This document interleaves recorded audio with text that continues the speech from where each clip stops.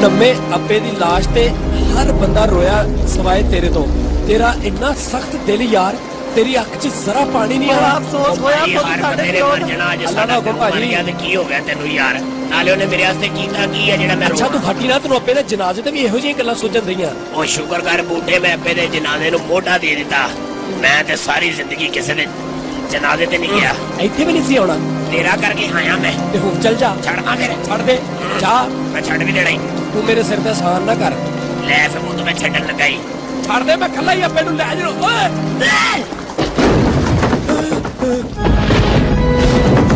ਉਹ ਫੜੋ ਮੇਰੇ ਅੱਬੇ ਨੂੰ।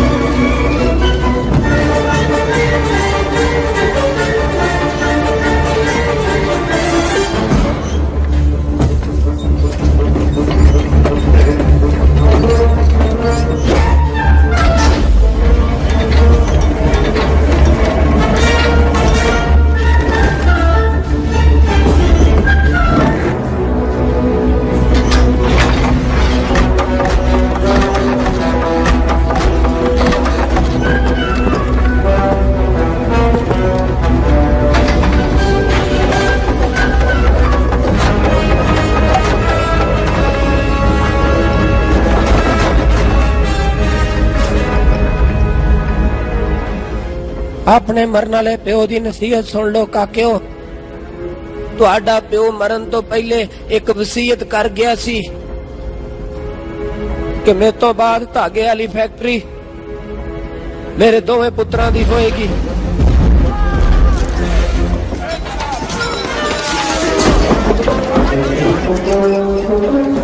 ਤੇ ਇਸ ਫੈਕਟਰੀ ਨੂੰ ਮੇਰੇ ਦੋਵੇਂ ਪੁੱਤਰ ਨਮਾ ਤੇ ਬੂਟਾ ਰਲ ਕੇ ਚਲਾਉਣ ਤੇ ਮੁਨਾਫਾ ਅੱਧਾ ਅੱਧਾ ਕਰਦੇ ਰਹਿਣ। ਠੀਕ ਆ ਵੈਰੀ ਗੁੱਡ ਚਲੋ ਫੈਕਟਰੀ ਵੇਚ ਕੇ ਤੇ ਕੋਈ ਹੱਥ ਸਿੱਧਾ ਉਹ ਕਰੀਏ ਅੱਬੇ ਆਪਣਾ। ਮੇਰੇ ਨੂੰ ਹਾਲੇ 2 ਦਿਨ ਨਹੀਂ ਹੋਏ ਤੇ ਤੈਨੂੰ ਫੈਕਟਰੀ ਵੇਚਣ ਦੀ ਵੀ ਪੈ ਗਈ ਹੈ ਓਏ ਅੱਗੇ ਅੱਬੇ ਨੇ ਇਸ ਫੈਕਟਰੀ ਚੋਂ ਇੰਨਾ ਘਾਟਾ ਖਾਦਾ ਜੇ ਹੋਰ ਪੈਸੇ ਘਟ ਗਏ ਤੇ ਫੇਰ। ਜਦੋਂ ਤੇਰੀ ਪਹਿਲੇ ਨੀਅਤ ਇਦਾਂ ਦੀ ਹੈ ਤੇ ਫਿਰ ਪੈਸੇ ਹੀ ਘਟਣੇ ਆ। ਹੂੰ? ਉਹ ਪੈਸੇ ਘਟਣ ਲੱਗੇ ਕੋਈ ਪਤਾ ਲੱਗਦਾ? ਕਿਉਂ ਜੀ? ਓਏ ਇੱਕ ਮਿੰਟ ਠਹਿਰ ਜੋ। ਆ ਤੁਹਾਡਾ ਪਿਓ ਤੁਹਾਡੇ ਆਸਤੇ ਕੁਝ ਹੋਰ ਵੀ ਛੱਡ ਗਿਆ ਇਹ ਵੀ ਲੈ ਲਓ। ਏ ਬੜਾ ਵੱਡਾ ਆਂਡਾ ਜੇ। ਆ ਲੋ ਫਸ ਗਏ ਹੁਣ ਤੁਸੀਂ। ਇਸ ਕਿਤਾਬ ਵਿੱਚ ਹਰ ਉਸ ਬੰਦੇ ਦਾ ਨਾਮ ਲਿਖਿਆ ਹੈ ਜਿਹਦੇ ਤੁਸੀਂ ਪੈਸੇ ਦੇਣੇ ਨੇ। ਲਓ ਕਰ ਲਓ ਗੱਲ ਵੀ ਵਸੀਅਤ ਦੇ ਵਿੱਚ, ਇਹਨਾਂ ਚਮਚੀਆਂ ਦਾ ਕੀ ਕੰਮ ਸੀ?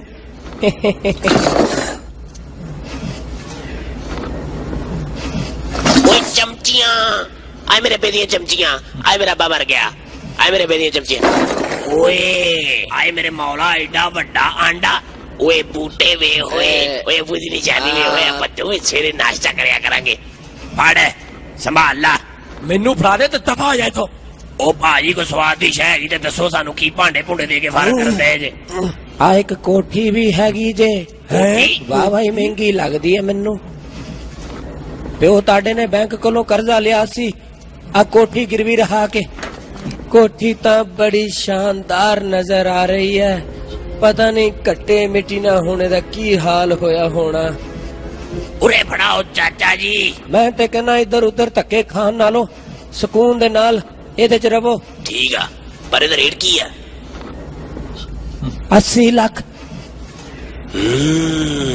ਓਏ ਐਵੇਂ ਹੀ ਬਹੁਤਾ ਖੁਸ਼ ਨਾ ਹੋ। ਚੱਲ ਚੀਜ਼ਾਂ ਜੋ ਕਪੜੀਆਂ ਚੱਲੀਏ ਸੋ। ਸ਼ੁਕਰੀਆ ਜੀ ਅੱਬਾ ਜੀ ਬੜੀ ਮਿਹਰਬਾਨੀ ਤੁਹਾਡੀ। ਆਇਆ ਓਏ ਹੈਲੋ। 뭐야 빠지디야 바뀌지 나도 오 뭐든지 꼬딱 하는 바베고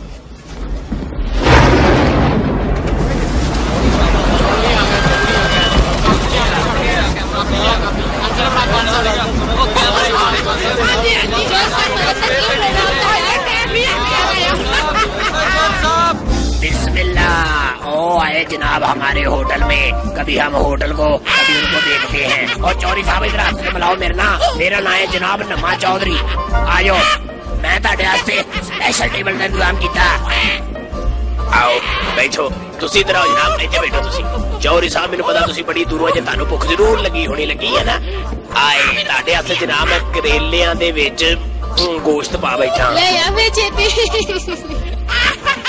ਓਏ ਹੁਣੇ ਹੀ ਲੈ ਕੇ ਆਇਆ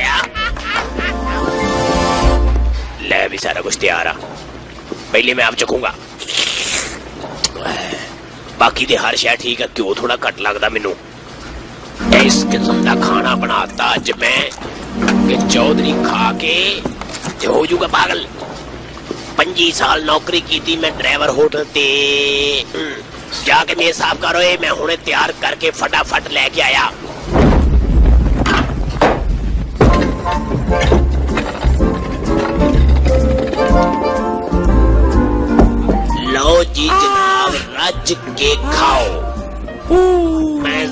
ਜ਼ਰਾ ਚੌਰੀ ਸਾਹਿਬ ਨੂੰ ਵੀ ਕਰੇਲੇ ਦੇ ਲਵਾਂ ਇਹਨਾਂ ਨੂੰ ਵੀ ਵਾਵਾ ਹੀ ਭੁੱਖ ਲੱਗੀ ਲੱਗਦਾ ਮਿਹਰਬਾਨੀ ਖਾਓ ਹੁਣ।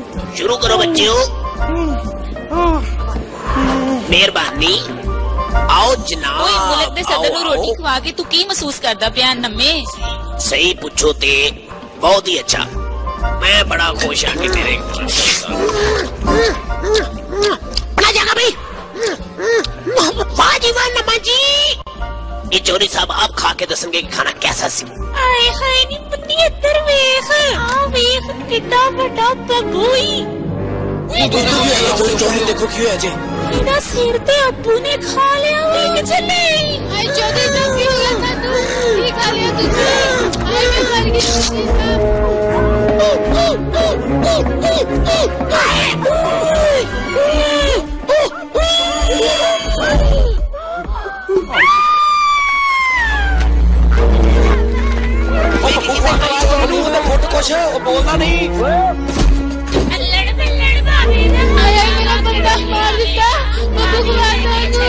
ਚੌਧਰੀ ਸਾਹਿਬ